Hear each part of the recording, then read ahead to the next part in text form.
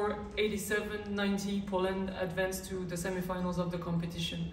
For the first part of this press conference, we've been joined by Luka Doncic and head coach Aleksander Sekulić of Slovenia. Luka, can you share your thoughts on the game, please?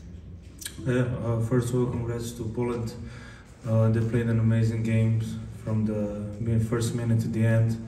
Uh, I mean, it's a big achievement for them. Just and for us, you know, we didn't uh, went to the game like we wanted. Uh, the energy wasn't there, but then we come back. Uh, but Poland still uh, was still fighting. So uh, congrats to Poland. Thank you, coach. Could we also have an opening statement from you? Yeah, first of all, big congrats to the Poland team. they they played a hell of a game, especially in the first half.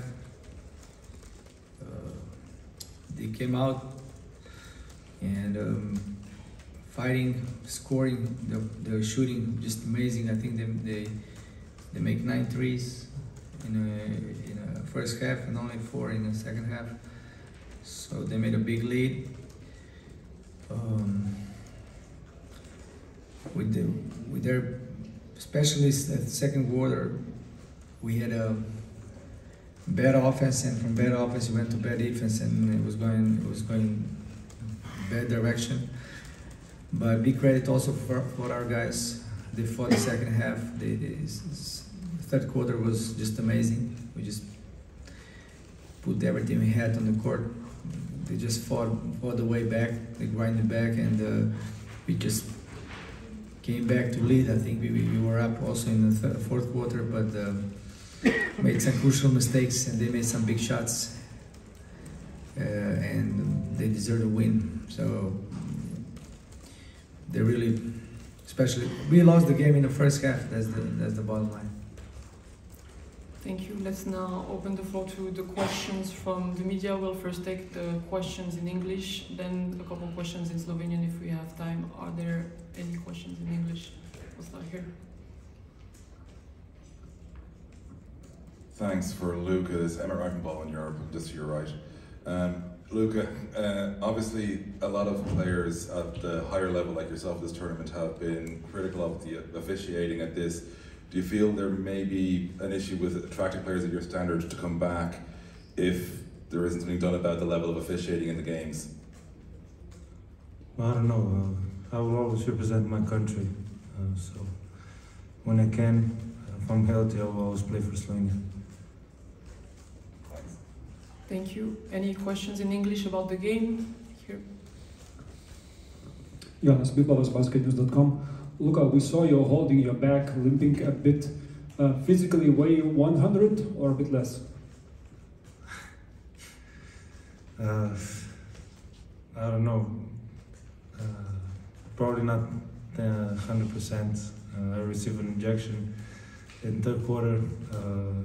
I've been dealing with a lot this Eurobasket, uh, but that's not the reason. You know, today I played terrible. Uh, I let my team team down. I let the whole country who was supporting us down, and that's on me.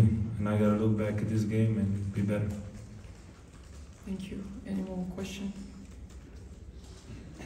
Donatas Urbonas, basketnews.com. Uh, Luka, you mentioned that uh, the energy wasn't here and wasn't there, and when you guys saw Serbia, Greece being eliminated from the tournament, maybe it impacted the general, you know, approach of some players regarding this game and regarding the opponent you had? No, I think I would give credit to Poland. Uh, I know everybody had us, not everybody, but most had us as favorite. Uh, but Poland has a great team. Like I, would, I talked about Belgium, they had a great team, and Poland too. You know, this Eurobasket was amazing to see. Uh, the game was, was unbelievable. Uh, I'm sad that we couldn't get through, uh, but I think this Eurobasket was something else. You know, it was a lot of amazing and great teams. Thank you. Any more uh, questions?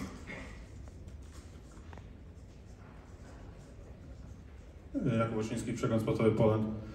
Question to Luka about uh, Mateusz Ponitka, uh, Poland, Polish team leader performance. How impressed are you and how surprised were you about his performance and do you think he's an NBA caliber player? Yeah, amazing game. Uh, I'm not surprised. Uh, I play a couple times against him. He's a great player, great leader.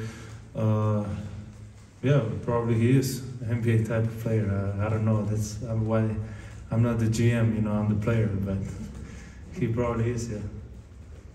Is there any more questions in English? Hi, Rytis Vyšniauskas, basketnews.com. I have a question for the coach.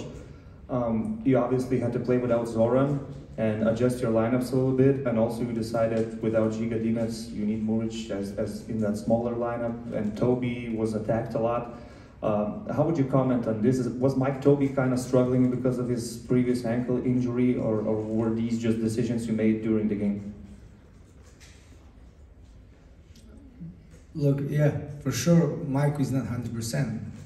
He had bad injury, unfortunately, uh, at the start of the game uh, against uh, Germany.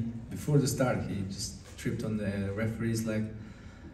Uh, he wasn't for sure hundred percent, even though, even though uh, he went on the court, put his card out, and we cannot blame him for anything. He just, I think he played hundred percent but for sure impacted for sure his game a little bit.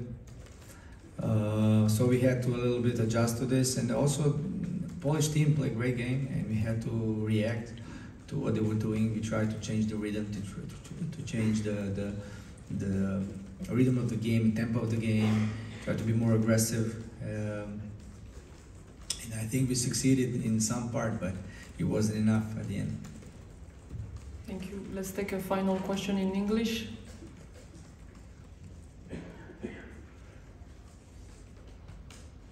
Good night. Question for both. Uh, what What about your future?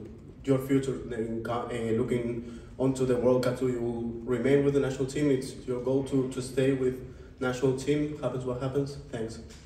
Of course, if we qualify, yes.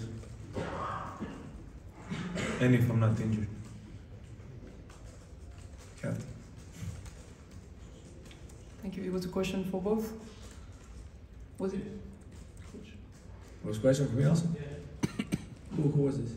I didn't- Y- Which media? Okay. Uh, look, um, we need to analyze this Eurobasket and then we'll make decisions. Thank you. We can now take a couple of questions in Slovenian and Slovenian.